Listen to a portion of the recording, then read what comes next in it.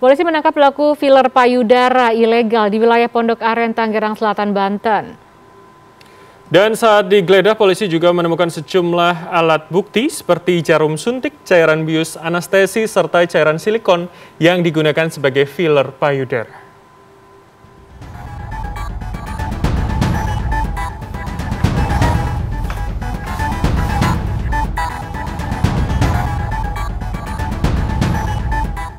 Ibu sebagai terlapor di dalam kasus filler payudara ini surat perintah penangkapannya Bu.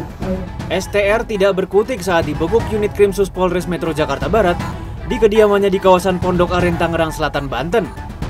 Tersangka diamankan lantaran terlibat dalam kasus filler payudara ilegal. Saat digeledah, polisi menemukan sejumlah alat bukti seperti alat suntik, cairan bius anestesi, dan cairan silikon yang diduga digunakan tersangka untuk melakukan praktek filler ilegal. STR yang diduga melakukan uh, perbuatan suntikan filler payudara tanpa izin. Yang bersangkutan juga bu bukan merupakan seorang dokter. Tersangka mengaku bukan seorang dokter, melainkan seorang sarjana pertanian.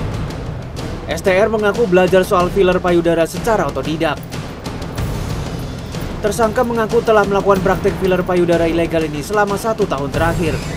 Pengalaman pribadi, kemudian saya juga sempat kursus kursus bagaimana cara menyuntik filler ke sebuah salah satu yang bilangnya dokter ya dan saya punya apa sertifikat lah gitu kalau saya sudah kursus Guna pemeriksaan lebih lanjut, tersangka dibawa ke Mapolres Metro Jakarta Barat.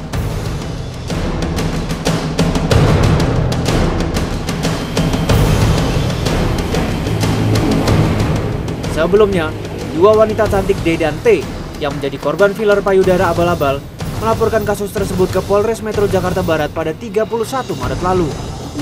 Dengan menyertakan bukti chat, transaksi serta rekaman video operasi, D dan T menjalani pemeriksaan untuk kelengkapan laporannya. Keduanya melaporkan kasus ini ke polisi setelah efek samping dari filler payudara ini membuat bagian tubuh kedua korban membengkak hingga mengalami peradangan ya makanya saya tergiur dengan harga murah dan gambarnya bagus. Jadi akhirnya saya melakukan uh, tindakan ini kepada si pelaku. Efek selain mbak berdua ini? Sebenarnya korbannya sangat banyak cuman yang baru speak up itu baru beberapa korban aja sih. Korban D dan T mengaku tertarik menggunakan filler payudara setelah ditawari seorang teman yang juga merupakan selebgram. Tim Liputan CNN Indonesia.